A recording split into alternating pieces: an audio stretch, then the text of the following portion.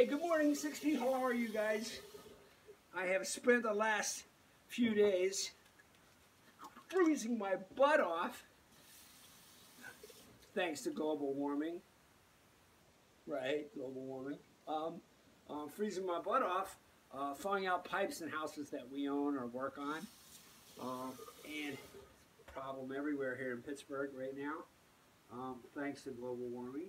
Um, you know, if you're watching this years from now, I would like to apologize uh, for my dopey generation that spent 40 years on feel-good science, um, and uh, uh, rather than than uh, finding solutions, good energy solutions like this, solar power and wind power and wave power. Oh my God, I can't apologize enough to your generation that we wasted millions and billions of dollars on that bull crap um, rather than finding better ways, cleaner ways, ways to be better stewards of our planet with the energy energy sources we have at, readily have at hand.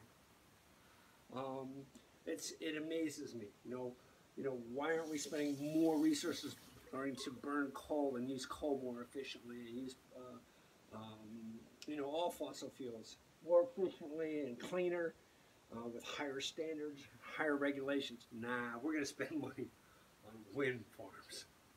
Drive up by Somerset, Pennsylvania. Giant windmills that just sit there, don't even move. Giant. I mean giant. And that's thanks to people who believe in causes like causes, not science, causes. And when they figured out it wasn't global warming, they changed it to climate change, right? Well, I can't dispute that. The climate does change, right? Jeez. And it all goes back to my dopey, stupid generation. Back when I was in eighth grade, it was called ecology then. Um, our concern for the ecology. From me right to Marvin Gaye. But anyway, I won, I won, a, I won an award in eighth grade. Um, um, big prize, right?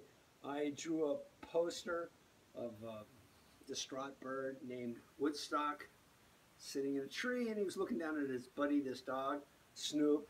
No, not Snoop Doggy Dogg, different dog.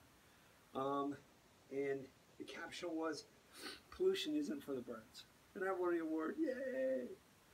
Uh, and I apologize for that. Um, and, uh, you know, and then, so we've had this dopey, feel-good, stupid science rather than finding solutions. So I apologize. Now, back to my generation. The guy who actually started Earth Day is of my generation. Who started Earth Day, where the whole planet comes to a stop and we celebrate the wonder that is Mother Earth.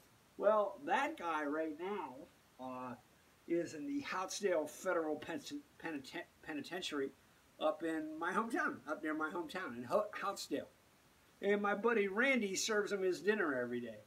Um, because, um, because he, Mr. Earth Day, um, uh, he murdered his girlfriend and put her in a trunk, like you do. And, uh, so there you go. Um, there's probably someone far more clever than me. Uh, could probably really put a moral to the story there. Uh, something to do with that. I'm sure I would love to hear from somebody who could wrap that up very cleverly. Um, uh, no knock knock jokes. Not fun. Um, okay, so um, all right, so I'm gonna go freeze my off. All right, and I'm gonna go over to my buddy Al Gore and thaw his pipes out. You know he invented the internet, right? Um, so uh, that's I'm gonna head over to Al's now and take care of that. Have a good day. Peace. Be 60.